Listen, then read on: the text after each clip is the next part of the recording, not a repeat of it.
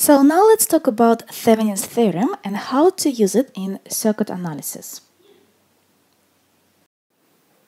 So now let's do the example when we need to apply Thevenin theorem to find current I. The current I is the current through 1 ohm resistor and that resistor is also known as the load resistor so we can call it R load and pretty much we're not going to touch this resistor but what we can do the idea of Thevenin theorem that the rest of the circuit the circuit between terminals A and B connected to the load to 1 ohm resistor could be replaced by two equivalent parameters uh, equivalent voltage and equivalent resistance. So pretty much the rest of the circuit could be replaced by voltage V Thevenin voltage source. So here we go, plus minus V Thevenin connected in series to the equivalent resistance called as R Thevenin, RTH. So this is our open circuit to terminals A and B. And as we had originally, A and B is connected to 1 ohm resistor. So the 1 ohm resistor will be placed in between. And this is our Thevenin circuit, equivalent circuit, where it is much easier to find, for example, the current, current I, uh, through 1 ohm resistor or if required, we can easily find the voltage across this 1 ohm resistor. So let's start finding Thevenin equivalent and we need to find R Thevenin and V Thevenin. First of all, we need to remove the load because the equivalent is the equivalent at an open circuit between A and B. So once it's done, we can start looking on uh, equivalent resistance R Thevenin. So this is, will be our first step to find RTH or R Thevenin. So how to do this? How to find R Thevenin? We need to remove all independent power sources and find equivalent resistance in the circuit. In our case, there are two power sources, independent power sources is 12 volts and 2 amps. So once we turned off independent power sources, we'll create the new circuit and it is uh, probably a good idea to draw it. So what do we have? When we remove a voltage source, we're creating a short circuit. So we have a 6 ohms resistor. This is 6 ohms resistor. Uh, looking into 2 amps power source, if we switch it on, we create a, an open circuit. So pretty much we're not going to put any wire here. Continue by the next 6 ohm resistor. And we also have 4 ohms. And the question is, that this is very important, that we need to find equivalent resistance, R Thevenin, looking into terminals A and B. So don't forget this is the place where we need to find the equivalent resistance A and B. So pretty much you need to look into this way from the right to find RTH R Thevenin. So this is the circuit and what would be the equivalent resistance RTH in this case. Uh, we can see that 4 ohm resistor is connected in parallel to two 6 ohms resistor. So 4 is in parallel to, to what? To 6 plus 6 because these two resistors are in series.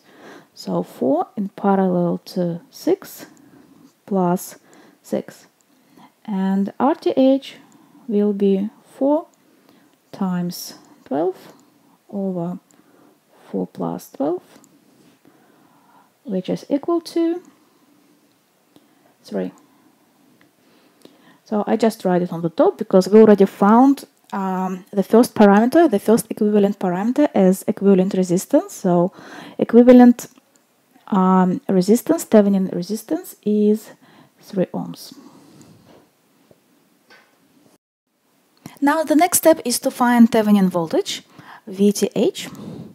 And in this case, we need to come back to our original circuit uh, open circuit and the Thevenin voltage is the equivalent voltage between terminals A and B so here plus and minus, and this is the uh, place where we need to find VThevenin VTH. Looking into the circuit, we can see that VTH is the same as the voltage across 4 ohms resistor, so across this branch. And that means that this voltage is the same as the voltage on this upper node. Let's call it V2. Uh, again, looking into the circuit, it looks like we have two nodes and it's more likely that we'll be using nodal analysis to find V2. So let's name the first node as V1, the second node as V2. And like I said, VThevenin is the same as the voltage V2. So to find voltage V2, we need to write two nodal equations. So let's do this. For node 1, what do we have? The first current um, is coming in due to 12 volts. So we have 12 minus V1 over 6. Then 2 amps coming in. So we put plus 2. And then the current from V1 to V2 going this way. Uh, out from the node. So we put minus V1 minus V2 over 6 and equals 0. So this is the equation for node 1. Let's do the same for node 2. So the second nodal equation, for node 2 we have the current coming in uh, from 6 ohm resistor, so that will be V1 minus V2 over 6. Now it is positive because it's coming in. And just one more current uh, through 4 ohms resistor, it's going out. So we put minus V2 over 4. Equations, solving. We can find the nodal voltage V2, which is equal to 6 volts.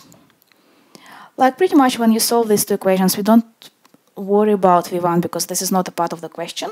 We only need to know the value of voltage V2, and that means that V Thevenin is the same as V2 and that will be 6 volts. So just gonna write it on the top. So we found Thevenin uh, resistance and now we found Thevenin voltage which is equal to 6 volts. So now let's see what we can do with these two equivalent parameters as R Thevenin and V Thevenin. First of all, what was the question? The question was, was to find current I, and this current was the current through the load, 1 ohm resistor. So if we place the resistor back, and that was resistor was exactly uh, across A and B, so here we used to have 1 ohm resistor, and the current I is the current flowing through that resistor. But because we already found um, R Thevenin and V Thevenin, we can replace the original circuit by the Thevenin circuit, where we have the Thevenin voltage 6 volts plus minus 6 volts connected in series to Thevenin resistance, and that we found to be 3 ohms. So this is the open circuit between A and B, and the load resistor 1 ohm resistor was connected exactly across the circuit. So between A and B we can place the 1 ohm resistor. So here our equivalent circuit and now it is pretty easy to find current I, the current through 1 ohm resistor. How to do this? We can see that we have two resistors, 3 ohms and 1 ohm, connected in series. So the current in 1 ohm resistor will be, using Ohm's law, current I, will be the total voltage, which is 6 volts, over the total resistance. And the total resistance for two resistors in series will be 3 plus 1. And the answer for the current will be 1.5 amps.